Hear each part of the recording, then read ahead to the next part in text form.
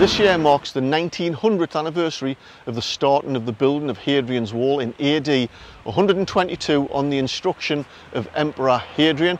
And it stretches here from Wallsend or Segedunum, which the fort is about 70, 80 metres just over there, along the Tyne Solway Isthmus and it stretches about 73 miles or 80 Roman miles. So Hadrian's Wall formed part of the, the Roman Empire's northern frontier. So the purpose of this particular video is in two parts. As I go along this walk from here to Wylam, which is near Heddon on the Wall, I'm going to give you a little bit of history. I'm going to drip feed you some interesting facts that you probably didn't know about this particular walk and this wall, but also what it's like to actually walk this particular stretch of Hadrian's Wall walk, which is about 15 to 16 miles. And where I'm stood right now, this is actually um, a mock-up of what the wall actually looked like at the time. But you can see in front of me here, this is actual Hadrian's Wall, which led from the fort there at Segedunum and headed in a straight line towards Newcastle. It joined where the 187 Fossway is now, um, going down parallel Shields Road at Byker, over the Ouseburn Valley and into Newcastle city centre near where Central Station is now, uh, Westgate Road, up the West Road and so on and so on. Um, the walk we'll be doing, actually, the walk doesn't follow the route of the actual wall, so this is all you're going to see of the wall in this particular section. We follow from the fort here uh, by Swan, Swan Hunter Shipyard and around the curvature of the River Tyne. Behind me here, this is Segedunum Fort, and this is the start of the Hadrian's Wall Walk. And the Romans picked this particular site, and actually, the road that you see here, just going down there, and where I'm stood now, the road actually goes through the middle of the fort. So the town planner that decided to build a road through the middle of a historic Roman fort needs to be shot. But anyway, they picked this particular site on a bit of a plateau uh, beside, right beside the River Tyne, which is on the bend of the river, so they could see four miles down River Tyne towards South Shields, where they could see any uh, enemies approaching, but also give them a two mile view down the river in the other direction towards Newcastle. So I'm at the very beginning of the walk now and I'm really excited. You'll see this little section of wall here, that's not part of the actual Hadrian's wall. This is a wall that went up to the corner of the old fort there and this would have stretched down to the river and formed part of a pier into the River Tyne. So anyway, let's get on this walk, follow me, I'm right behind you. So here, about 100 to 120 metres from Segedunum along this path, is the old Roman paths down this little cut. Let's take a look. So this is the Roman baths and they did have a quite a lavish lifestyle. Certainly the officers from the fort I don't think the 400 infantrymen and 120 uh, cavalry were allowed to use this. I might be wrong. I think it was just for the particular officers. So that quite a nice lifestyle. It was, it was kind of like um, a modern day sauna setup. They had three warm rooms with pools and one cold room. So this is where we would come and just to uh, wash and bathe and generally just uh, hang out and uh, have a chat. So Hadrian here, he was born in AD 76 and he became the emperor in AD 117.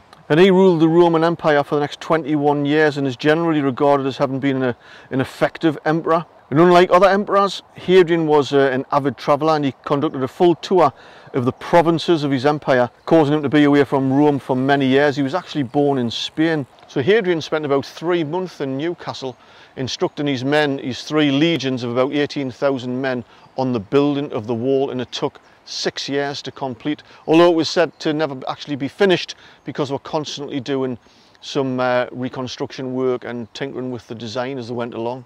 So we're a couple of miles in on the walk now, so when we started, Segedunum is actually right behind the old Swan Hunters shipyard, which is obviously all gone now, it's really sad.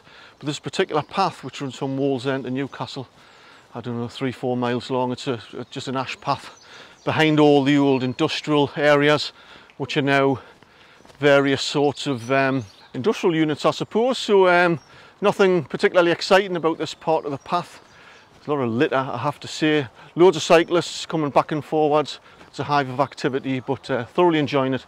Nice day for it actually about 14 15 degrees. And uh, overcast perfect for me for walking being out with the dogs.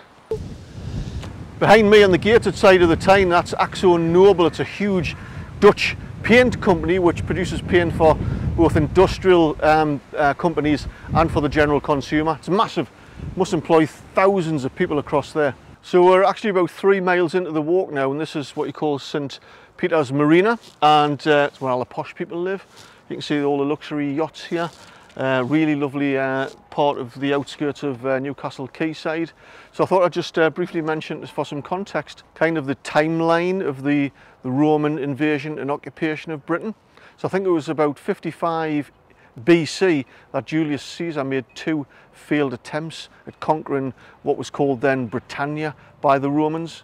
It wasn't until AD 43 that there was a successful inv invasion of uh, Britannia by the Emperor Claudius. AD 76, that's when Emperor Hadrian was born in Italica in Spain. And AD 105, there was a new line of forts were built between the Tyne and Solway. So building work had uh, already begun there with various forts along that isthmus.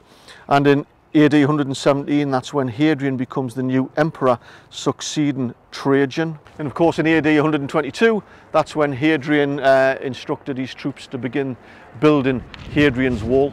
So we're about a four and a quarter miles in now, we're just about hitting the quayside and where I'm actually stood right now is the mouth of the Ouseburn. Behind me here where you can see all this works going on, there's a controversial planning project going on called the Malmo project where they're looking to build, I think it's a 14 story tower block directly behind me and that's going to block the views from the Ouseburn which will be a bit of a devastation.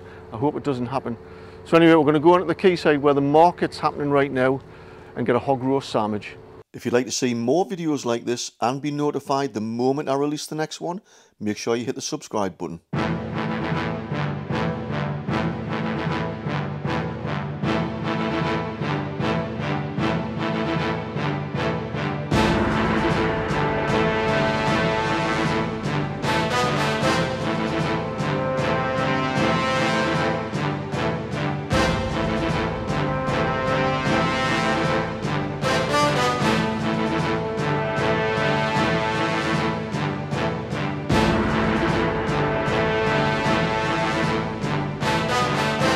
So where I am right now is at Elswick where there used to be the Armstrong's works and the shipyards It used to be a hive of activity during the Industrial Revolution and behind me is the Dunston Staithes. Uh, you might have heard of Dunston before, if you haven't it's, a, it's in Gateshead West. And Dunston is actually where Paul Gascoigne's from, Gaza. I done a whole separate video on the Staithes so I won't uh, go into any detail about that. Check it out, I did it about three months ago. I forgot to mention at the Swing Bridge which is the site of the original Tyne Bridge going back to Roman times. They know that was the original site because when they were building the spring swing bridge, I think it was 1868. If I'm if I'm wrong, I'll just put the date on the uh, on the screen there. They found the foundation timbers of the old Roman bridge dating back to 100, about 120 AD. So we're about six and a half miles in now and uh, of course you won't see any sections of the wall. This isn't the actual path of Hadrian's wall which I mentioned at the beginning of the video. You'll see a tiny section of the wall. If you go up to Central Station, one of the arches near the old castle, you'll see a tiny section of Hadrian's Wall. Anyway, it's blowing a hoolie here. Let's crack on.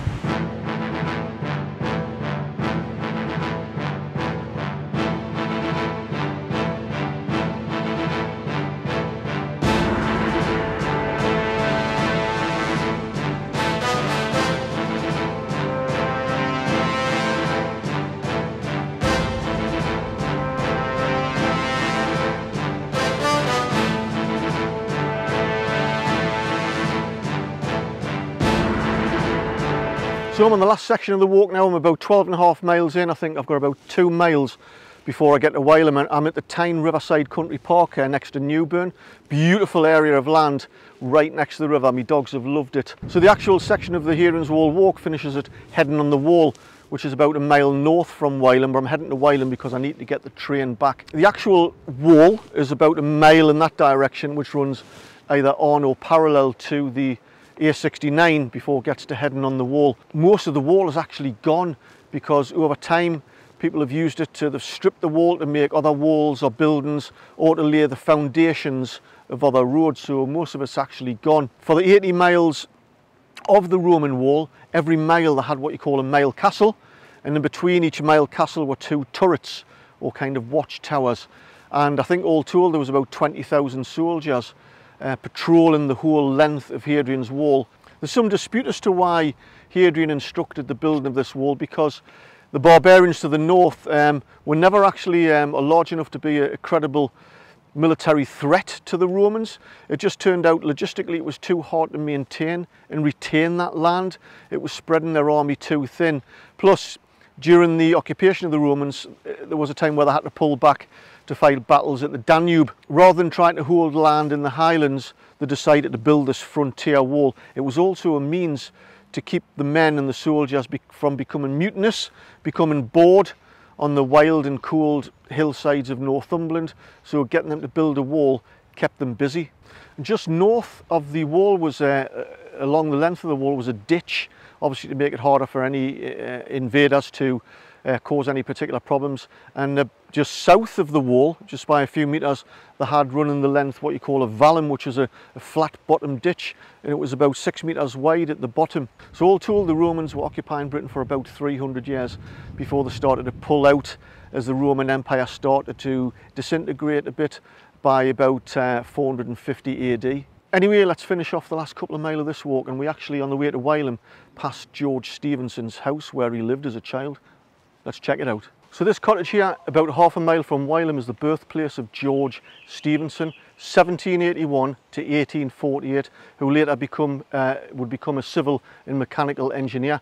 And he lived here until he was eight with his family. In fact, three families lived here when he was a child, and they occupied one room uh, upstairs, which served as a living room, bedroom, and the kitchen. So they all would have slept probably in the same bed. George Stephenson, of course, is famous for inventing the Stephenson lamp, the safety lamp for miners that were used predominantly by miners in Tyneside and the County Durham area, which gave the term to Geordies, uh, more collectively as a community, referring to uh, miners who used the, uh, the George Geordie safety lamp.